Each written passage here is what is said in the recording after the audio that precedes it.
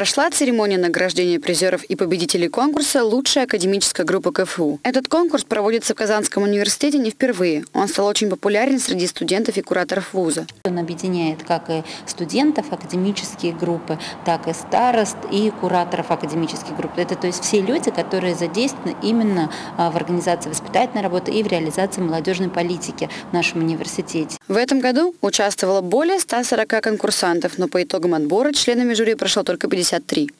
Этот конкурс, наверное, э, уникален еще и тем, что э, охватывает практически все структурные подразделения университета, и это и представители Набережно-Челнинского, и Лабужского институтов, и представители всех наших основных структурных подразделений, которые находятся в Казани. Этот конкурс важен как кураторам, благодаря чему растет институт кураторства, так и студентам, которые раскрывают свои индивидуальные качества. Для каждого из них была отдельная номинация, а также определили лучшие академические группы в разных возрастных категориях. Я заняла первое место в конкурсе на лучшую старосту и второе место заняла моя группа уже как лучшая академическая группа. Очень приятно учиться именно в Институте психологии и образования, что э, наш институт помогал нам с этим, поддерживал, мотивировал, способствовал тому, что мы участвовали в этих конкурсах, э, и было всегда приятно прийти, попросить чего-то и услышать слова поддержки именно вот от института.